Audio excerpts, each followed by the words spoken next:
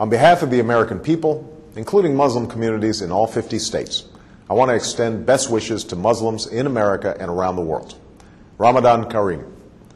Ramadan is the month in which Muslims believe the Quran was revealed to the Prophet Muhammad, beginning with a simple word, Iqra.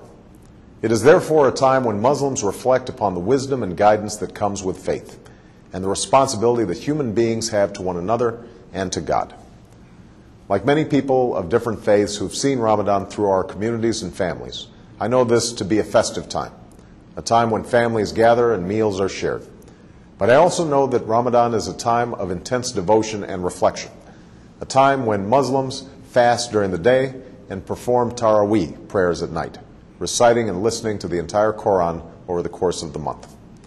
These rituals remind us of the principles that we hold in common and Islam's role in advancing justice, progress, tolerance, and the dignity of all human beings. For instance, fasting is a concept shared by many faiths, including my own Christian faith, as a way to bring people closer to God and to those among us who cannot take their next meal for granted.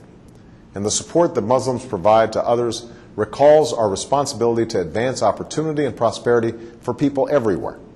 For all of us must remember that the world we want to build and the changes that we want to make must begin in our own hearts and our own communities. This summer, people across America have served in their communities, educating children, caring for the sick, and extending a hand to those who have fallen on hard times. Faith based organizations, including many Islamic organizations, have been at the forefront in participating in this summer of service. And in these challenging times, this is a spirit of responsibility that we must sustain in the months and years to come. Beyond America's borders, we're also committed to keeping our responsibility to build a world that is more peaceful and secure. That's why we're responsibly ending the war in Iraq. That's why we are isolating violent extremists while empowering the people in places like Afghanistan and Pakistan. And that is why we strongly and actively support a two state solution that recognizes the rights of Israelis and Palestinians to live in peace and security. That's also why America will always stand for the universal rights of all people to speak their mind, practice their religion, contribute fully to their society, and to have confidence in the rule of law. All of these efforts are a part of America's commitment to engage Muslims and Muslim majority nations on the basis of mutual interest and mutual respect. And at this time of renewal, I want to reiterate my commitment to a new beginning between America and Muslims around the world. As I said in Cairo, this new beginning must be borne out in a sustained effort to listen to each other, to learn from each other, to respect one another, and to seek common ground. I believe an important part of this is listening.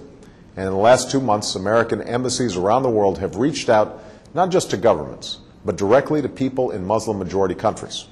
And from around the world, we have received an outpouring of feedback about how America can be a partner on behalf of people's aspirations. We have listened. And like you, we are focused on pursuing concrete actions that will make a difference over time, both in terms of the political and security issues that I've discussed and in the areas that you have told us will make the most difference in people's lives. These consultations are helping us implement the partnerships that I called for in Cairo, to expand education exchange programs, to foster entrepreneurship and create jobs, and to increase collaboration on science and technology while supporting literacy and vocational learning. We're also moving forward in partnering with the OIC and the OIC member states to eradicate polio, while working closely with the international community to confront the common health challenges like H1N1, which I know is of particular concern to many Muslims preparing for the Hajj. All of these efforts are aimed at advancing our common aspirations to live in peace and security, to get an education and to work with dignity, to love our families, our communities, and our faith. It will take time and patient effort. We cannot change things overnight, but we can honestly resolve to do what must be done while setting off in a new direction toward the destination that we seek for ourselves and for our children. That is the journey that we must travel together. I look forward to continuing this critically important dialogue and turning it into action. And today, I want to wish Muslims across America and around the world a blessed month as you welcome the beginning of Ramadan. May God's peace be upon you.